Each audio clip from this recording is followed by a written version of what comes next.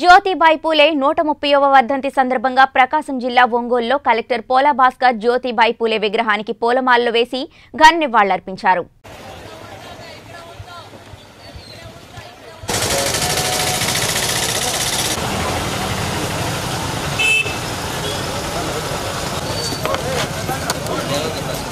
అందరికీ నమస్కారాలు తెలియజేస్తున్నా.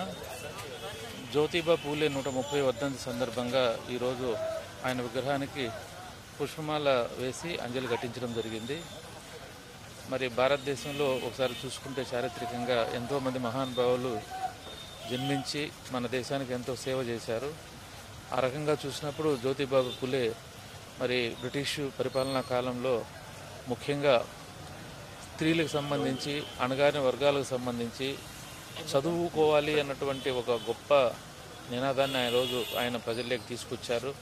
దానివల్లనే మరి మహిళల్లో కానీ అటు బడుగు బలిహీన వర్గాల్లో కానీ చైతన్యం వచ్చి చదువుకి ఒక ప్రాముఖ్యత అనేది వచ్చింది.